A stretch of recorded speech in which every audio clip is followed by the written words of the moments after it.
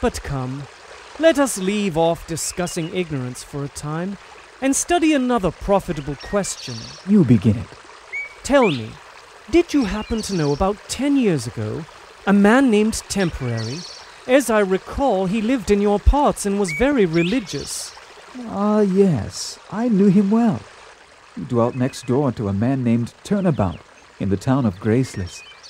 Their town lay about two miles off of the town of Honesty. Yes, that is exactly the man I had in mind. What about him? Well, if I be not mistaken, that man is an example of one who was once much awakened to the sight of his sins and to the wages due thereto. Ah, right you are. For he would oft times come to me, and that with many tears. I truly had pity for him, and for a time I thought him a likely candidate for the kingdom.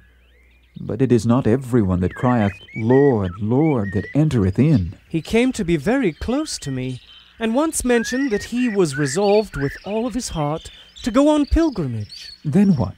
Then he grew acquainted with one Save-self, and from then on he made himself a stranger to me. And to me.